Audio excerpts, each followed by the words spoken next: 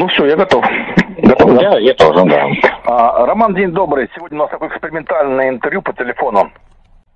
Привет, Андрюш. Да, достаточно экспериментально. А хотел с тобой поговорить, в общем, кто победил на этой неделе? На этой неделе сейчас вот выходной. Так, свечка красная на индексе московской биржи. Ну, кто же победил? Э, в смысле, быки или медведи? Да. Да, на самом деле никто не победил э, глобально, но локально на неделе победили медведи, поскольку пробили достаточно важную поддержку, бывшее сопротивление, это зона 2378, 2383. Э, в прошлой неделе мы от этого уровня отбивались, но вот затем пробили, оттестили снизу и теперь пробили еще поддержку на 2331, которую никак не можем снизу протестировать. Это, в общем-то, не очень приятный э, сигнал, но, в общем-то, и не сильно неожиданный. Вот. Просто волатильность потихонечку сужается, игроки ищут равновесный уровень для рынка, который будет соответствовать, в общем-то, ожиданиям большинства. Так что, в общем-то, походы вверх-вниз еще какое-то время продолжатся, затем уже, когда определимся с направлением, двинем куда-то. А привязка с направлением будет связана с динамикой мировых рынков или с какими-то внутренними событиями?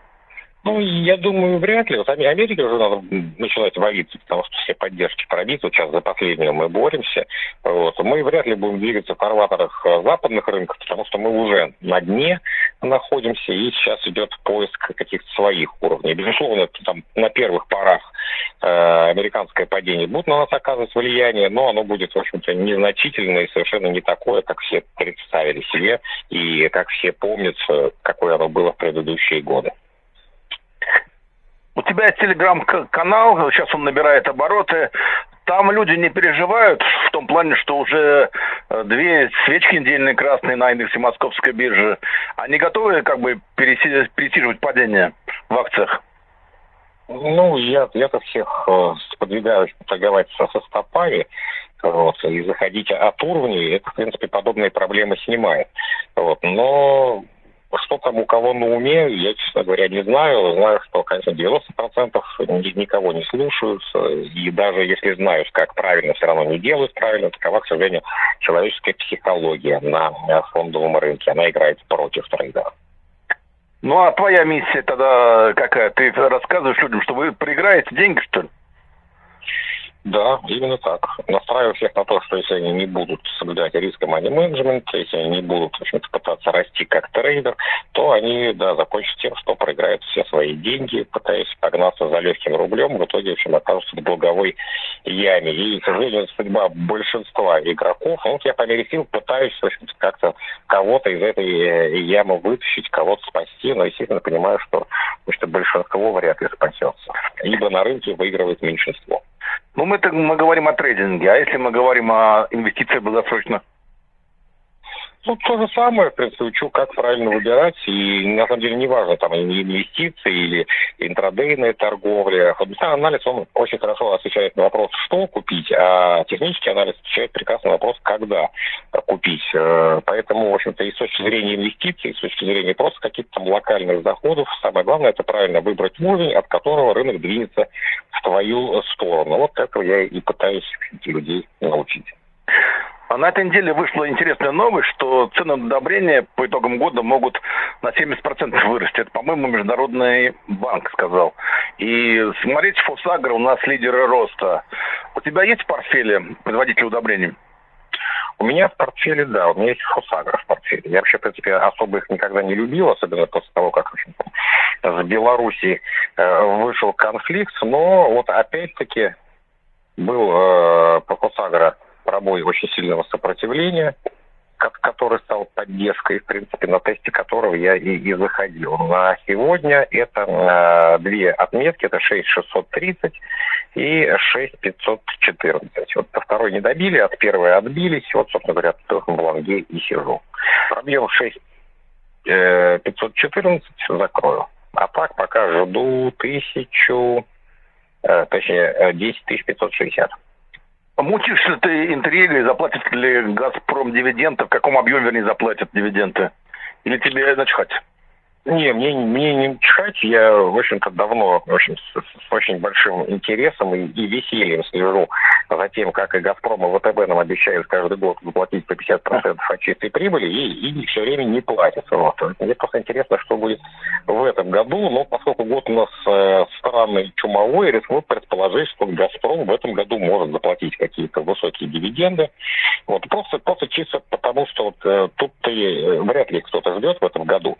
Вот но, тем не менее, э, вот, заплатит. Не могу сказать, что там 50% от чистой прибыли, но что-то такое э, довольно-таки весомое, просто чисто такой картинный жест, чтобы показать, что в «Газпроме» денежки возятся до сих пор, несмотря на санкции и, и все остальное. Это, по идее, должно э, подвигнуть к восприятию духом, в общем трейдеров не только в «Газпроме», но и в других бумагах. В общем, поверить, что э, в России не так все плохо, как рисуется Западом и, э, в общем-то, паникерами, параноиками ну и начать что-то покупать.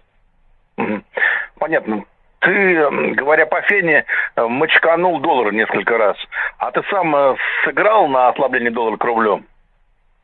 Да я с 21 с половиной в шарте от уровня, который, в общем-то, во всех утюгах заявлял, что это окончание тренда. Если что, вот сейчас мы добрались mm-hmm. э, по э, сишке до сильной поддержки, 65-200 она, мы ее пробивали, даже тестили сегодня снизу, опять вернулись вверх. Короче, вот Си у меня лонг пока, вот 65-200. Если уровень снова будет пробит и протестирован снизу, открываю шорт. А вот Бакс, он пришел сейчас на тест как раз своей супер-пупер поддержки, которые, от которой до этого отбивались, это 65-65. Ну, в принципе, сейчас пока что отбивается, так что по Баксу снова шорт восстановил.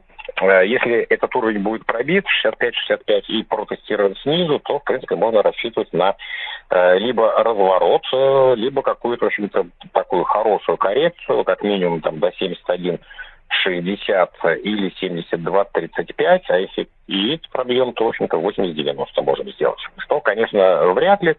Но вот если все-таки поедем ниже, то следующая остановка в Баксе – это 58,3. И, в общем-то, основная цель – это 55-55, э, где-то 56, вот так вот. Угу. Ряд событий, в том числе грядущий шестой пакет санкций против России, против нефтегаза, как бы ограничения по продаже нефти российской не дают нефти упасть. Ты сам участвуешь в этой игре в нефти? Ну, вот я пока шорт открыл от 110,2. вот, но походу уровень пробивается, сейчас тестится сверху. Если пробьем э, еще и 110,6, уровень, то вполне возможно, что поедем на 114,5, 115,8, оттуда снова буду пытаться э, шортить. Мне пока кажется, что вот из этой формации сходящегося треугольника выход должен быть вниз. И вот, э, так сказать, в этой итерации, э, по идее, либо вот от 110,2, 110,6 мы вниз поедем, либо ну, либо вот э, 113, а скорее всего тогда уже там 115 115,8 вот из этого диапазона. А пробьем 115,8, запретимся выше, будут тогда уже брать лонг и держать до 150. Последний раз мы говорили, что ты гонял в крипте. В крипте ты работал, совершал сделки. Вот, да. вот это вот феноменальное. Во-первых, объяснение, пожалуйста, что это за уровень э, 26 300, который биткоин оттолкнулся наверх. Я не могу понять, что такое за уровень 26 300. И что думаешь по биткоину? Так, а я что, этот уровень озвучивал? Нет, я просто говорю, вот я без претензий, просто мне интересно. Да. Ну, на самом деле, по, по мне так он развернулся и, из пустоты, потому что ближайшая поддержка по биткоину на 25 810 находится в настоящий момент. Э, вот, и, в принципе, буду я пытаться, наверное, оттуда его снова купить. Э, вот, но вообще, в принципе, там печальное положение дел. Мы пробили очень сильную поддержку на недельном графике 35.080. И вот будем тестировать этот уровень. Если отобьемся, то, общем-то, дорога биткоина дальше вниз, э, где-то 21 200, даже 15 500 можем сходить, а можем даже на 4 900 сходить. В любом случае, в общем-то, тренд по индексу криптовалют топ-20 повышательный, он пробит. Сейчас идет тест э, по индексу сопротивления основных, это 12100. И 12 580. Если мы отбиваемся, то индекс криптовалюты полетит дальше, и, в общем-то, многие, скорее всего, криптовалюты не выживут. Вот останется только основные, это биткоин, эфир, там еще что-то. Ну, в принципе, как, в общем-то, и планировалось. Возможно, вернуться выше, значит, наверное, развернулись. Но вот я думаю, что пока Америка не разворачивается, мы, в общем-то, крипто будет падать э, как раз в русле э, рынка Соединенных Штатов какое-то время. Ну, пока, в общем, все не поймут, что в долларе сидеть бессмысленно и беспощадно, и не начнут заходить в какие-то цифровые вещи. Роман, спасибо большое за интересное интервью и хороших выходных. Да нет, Андрюш, спасибо всем. Большой привет.